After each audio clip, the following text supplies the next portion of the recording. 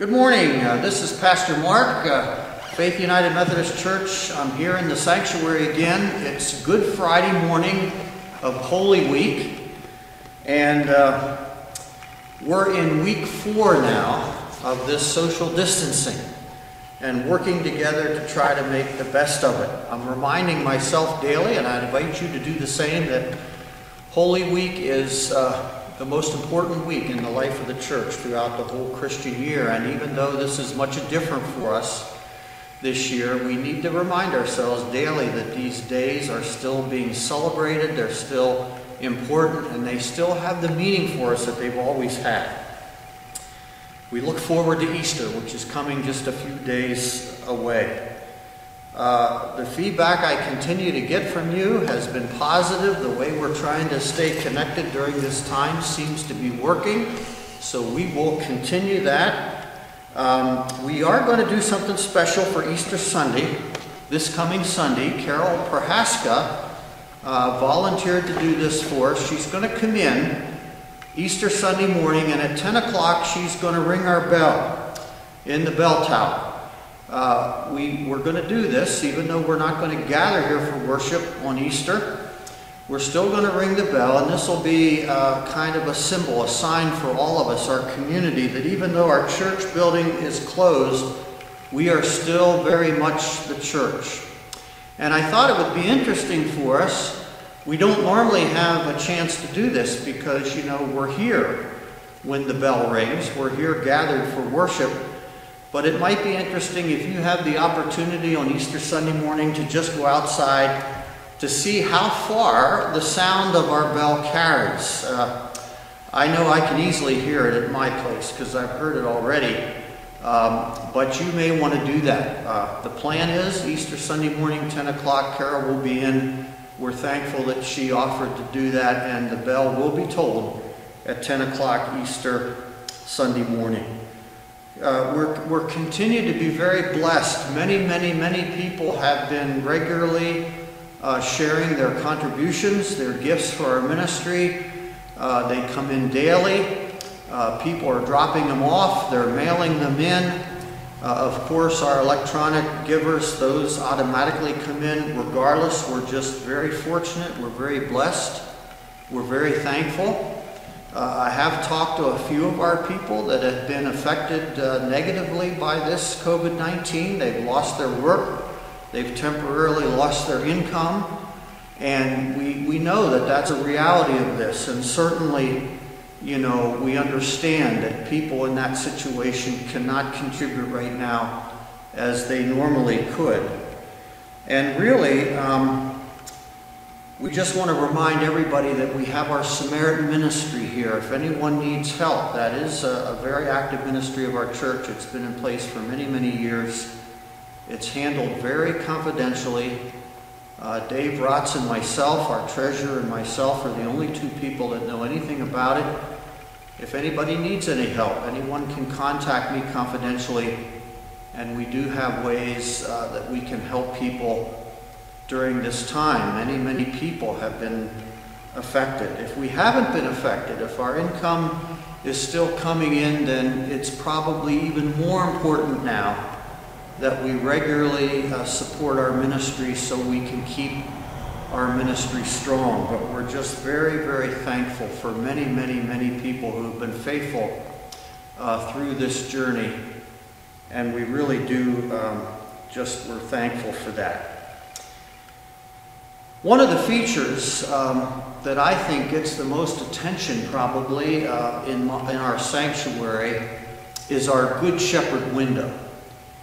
And here we are on, on Good Friday, and normally, I'll be honest, I don't really think about the Good Shepherd window on Good Friday. The scripture that uh, inspires the, the window comes from John 10, but this is not a normal Good Friday.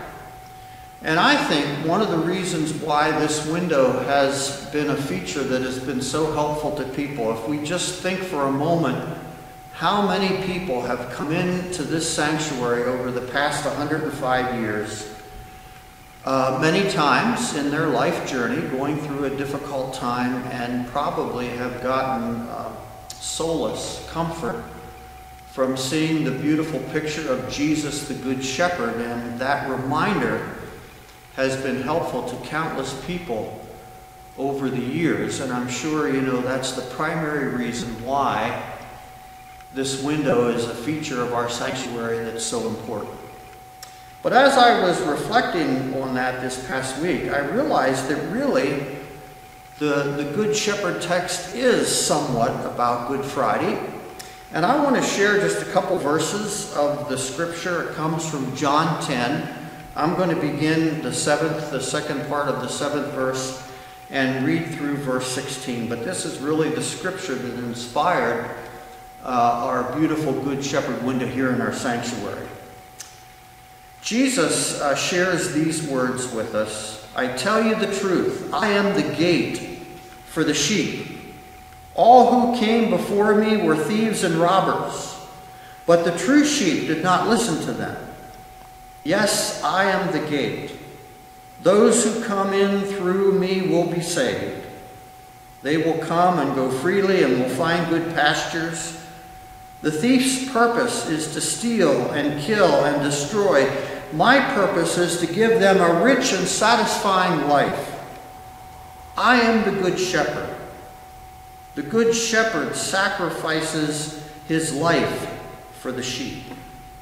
A hired hand will run when he sees a wolf coming.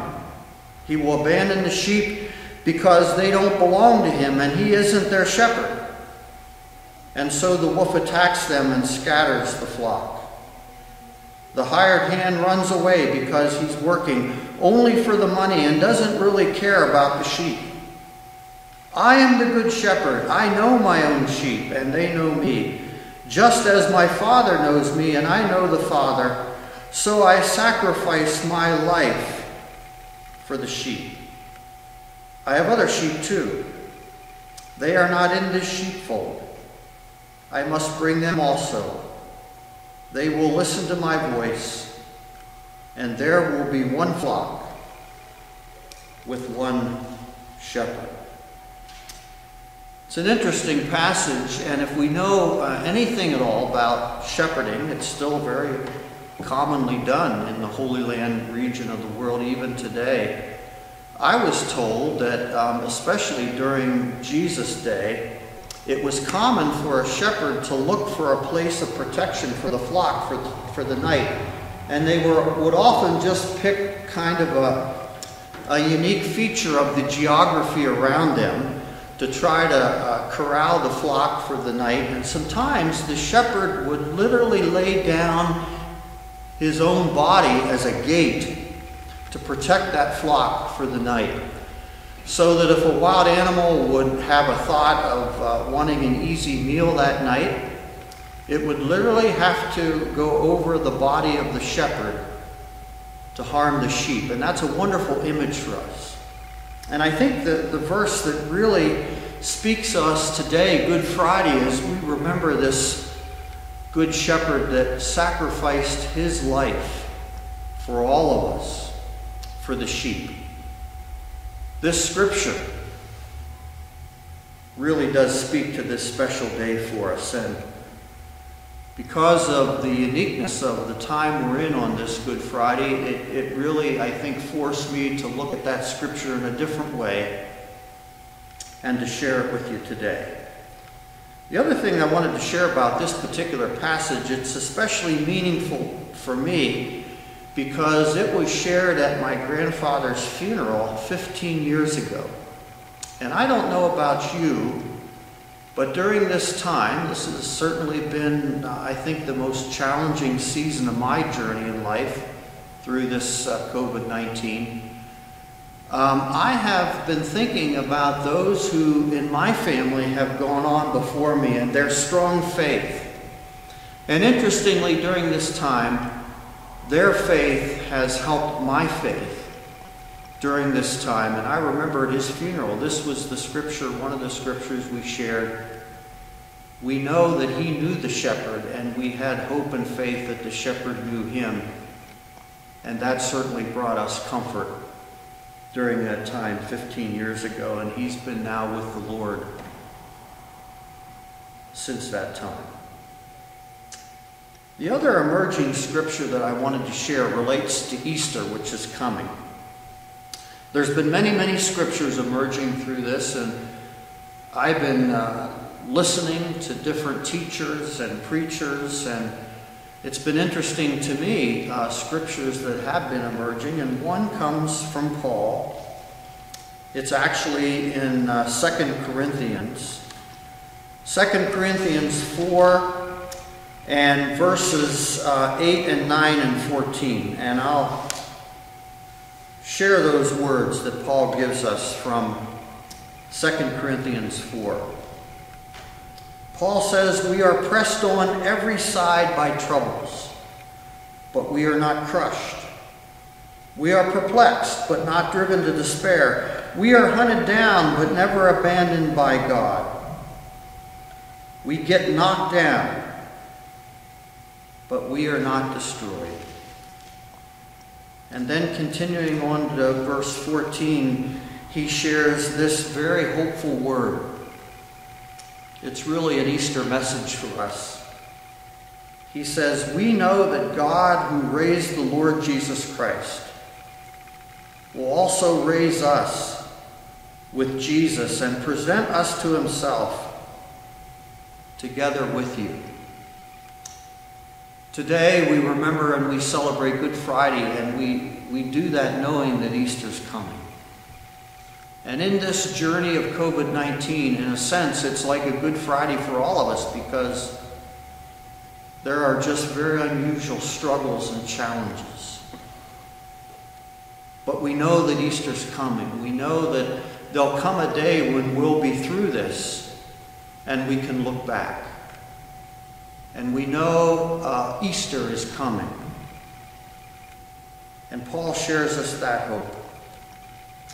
We know that God who raised the Lord Jesus Christ will also raise us with Jesus and present us to himself together with you. Let's continue on this journey through Holy Week together as we celebrate Good Friday today and as we look to Easter Sunday together and enjoy that hope and celebration that the Lord can give to us. Just a reminder again, if I can be of any help to anyone, uh, call or text me on my cell, 717-414-3047. Let's just be in prayer together. Lord, we just come to you in this time. And we're mindful today of many people who've lost loved ones. We're mindful today of people who had to pass from this life into the next alone, without any loved ones by their side, and how difficult that was for all involved, O oh Lord. We're reminded, too, of funeral celebrations that are happening with uh, very few people people that are currently battling this COVID 19, Lord, we just lift them in prayer and ask for your healing. People that are working on the front lines that are putting themselves in harm's way to help others, O oh Lord, we're just very thankful for them, but just surround them with your spirit of protection and help them and guide them. People that are out of work, that have families to support, oh Lord, that have loved ones to support, are experiencing a very difficult time, and we just pray for them, oh Lord, and we just ask for help in whatever way it can come to them to help them. But especially across our whole world, oh Lord, we just call on you again, our great physician, to give us the healing that we need. World leaders are stressed with very difficult decisions. Just continue to guide them, O oh Lord.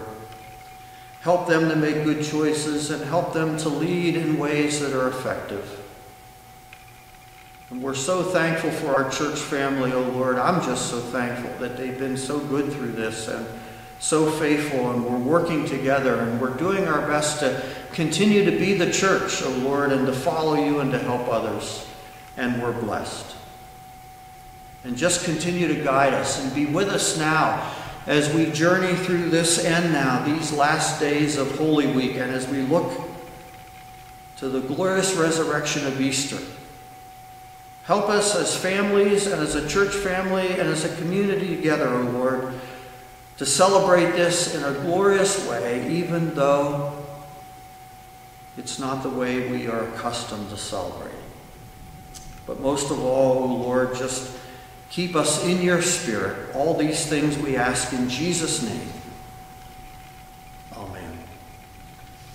Amen.